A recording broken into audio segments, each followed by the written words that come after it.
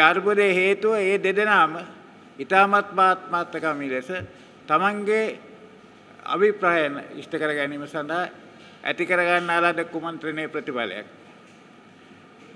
මහින්ද රාජපක්ෂලාට විරුද්ධව ඒ පවුලේ අයට විරුද්ධව තියෙනා වූ නඩු ඉවත් කර ගැනීමටත් ජනාධිපතිට ඊළඟ මැතිවරණයේදී ජනාධිපති වශයෙන් නැවත තරඟ කිරීමේ අවස්ථාව පාදා ගැනීමටත් ඒ දෙදෙනා අතර ඇති වුණු කුමන්ත්‍රණයේ ප්‍රතිඵලයක් තමයි අද මේ අපි අර භුක්ති විඳින්නේ.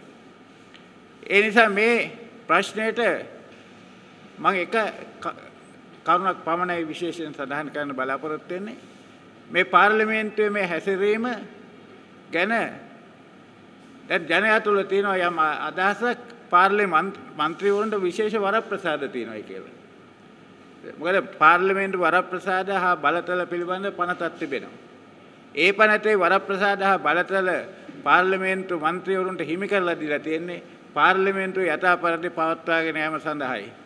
දැන් මේවා යථාපරිදි පවත්වාගෙන යාම සඳහා නෙවෙයි මේක විශේෂම පාර්ලිමේන්තුවේ කටයුතු යථාපරිදි පවත්වාගෙන යාමට අහිර කිරීම සඳහා ගන්නා වූ පියවරයන් තමයි මේ ගන්නෙ. ඒ නිසා ඒකට විරුද්ධව ඒ ඒ ඒ ක්‍රියාවන් සම්බන්ධයෙන් කිසිම ආරක්ෂාවක් පාර්ලිමේන්තු මන්ත්‍රීවරුන්ට නැහැ.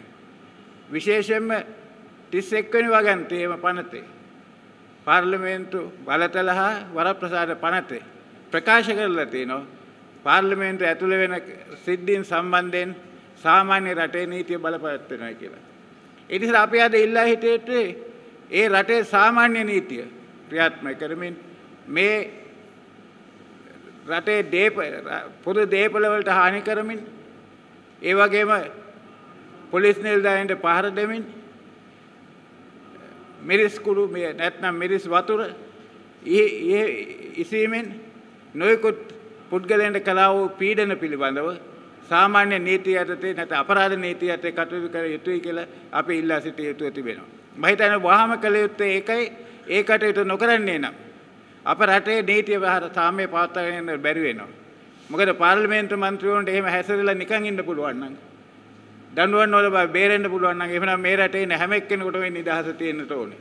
ඒ නිසා අපි අද දැඩි ලෙස ඉල්ලා සිටිය යුතුයි.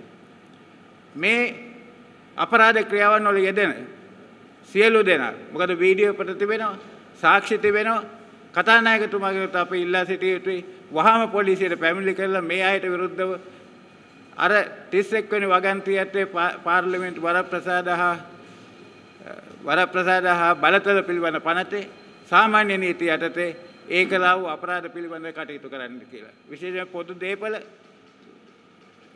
කතානායකයේ පුටුව පවා පොලේ ගැහුවා. ඉතින් ඒ වගේ තව නොයෙකුත් ආකාරයට මයික්‍රොෆෝන් කඩලා දැම්මා. ඒ ඔක්කොම පොදු දේපල. පොදු දේපල වලට එහෙම හානියක් කරන්න කිසිම മന്ത്രിවරයෙකුට අයිතියක් නැහැ. ඒ නිසා ඒක කිසිම පුද්ගලයෙකුට අයිතියක් නැහැ.